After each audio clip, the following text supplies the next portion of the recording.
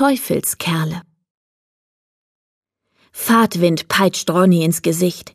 Er beißt die Zähne fest zusammen, legt sich mit dem Lenkrad in die Kurve und spürt, wie die Reifen das Auto gerade so auf der Straße halten. Pfeilschnell braust er über die Strecke. Als er sich umdreht, sieht er seinen Verfolger. Ronny kann es kaum glauben. Der holt auf. Er macht sich hinter dem Lenkrad ganz klein und gibt Gas. Die Reifen quietschen auf der Rennbahn. Ronny! jubelt die Zuschauermenge, als er vorbeirast. Er streckt die Hand in die Luft und winkt. Natürlich nutzt sein Verfolger die Gelegenheit. Es ist Didi Düse, der Ronny auf den Fersen ist und Meter für Meter zu ihm aufschließt. Komm schon, murmelt Ronny seinem Rennwagen zu. Lass mich nicht im Stich.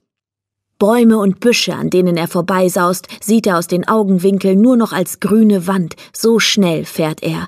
Doch Didi ist noch schneller. Haha! triumphiert er, als er Ronny auf der Innenbahn überholt. Mist, verdammter! flucht Ronny und macht sich an die Verfolgung. Sie schießen an der schwarz-weißen Zielmarkierung vorbei. Jetzt beginnt die letzte Runde. Es bleibt nicht mehr viel Zeit. Didis Wagen neigt sich in der Kurve gefährlich zur Seite, doch er kann ihn abfangen und gibt wieder Gas.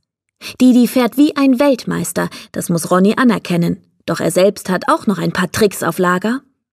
Ich komme, Didi, ich krieg dich noch, murmelt er. Die letzte Kurve. Schon liegen sie fast gleich auf. Doch Ronny muss die längere Außenbahn nehmen und Didi hat eine Nasenlänge Vorsprung. Reicht ihm das zum Sieg? Nein! ruft Ronny auf der Zielgeraden und zieht einen Hebel. Er ist gelb-schwarz gestreift und darüber steht in roten Buchstaben Turbodüse. Die Turbodüse zündet und aus dem Rennauto schießt eine Stichflamme. Die Menschen jubeln wieder. Ronny, Ronny! Didi kann nichts mehr tun. Ronny fliegt auf der Zielgeraden an ihm vorbei und gewinnt. Die Zielflagge weht, es regnet Konfetti und ein Blitzlichtgewitter setzt ein. Ronny winkt für die Fans, aber eigentlich interessiert ihn das alles nicht. Er geht zum Auto seines Rivalen Didi und hilft ihm aus dem Rennsitz. Fantastisches Rennen, gratuliert er. Fantastisch gefahren. Gratulation zum Sieg, erwidert Didi, und zwischen den beiden ist alles klar. Eine Frauenstimme ruft von der Terrasse des Kindergartens. Ronny, Didi, räumt ihr dann noch auf, wenn ihr fertig gespielt habt? Eure Mütter sind da, um euch abzuholen. Ronny und Didi bringen ihre Rennautos, zwei Bobbycars, in den Schuppen. Dann ziehen sie die Stöcke aus der Wiese, mit denen sie die Kurven ihrer Rennstrecke markiert haben. Die Gartenzwerge, die gerade noch ihre begeisterte Zuschauermenge waren, sind wieder versteinert. Ronny zieht die Zielmarkierung, seinen schwarz-weißen Pullover, wieder an. Morgen um dieselbe Zeit? fragt Didi.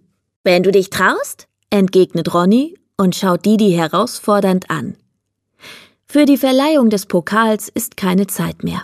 Der rote Plastikeimer mit den vielen Aufklebern ihrer Lieblingsautos bleibt im Schuppen stehen und wartet auf den morgigen Sieger.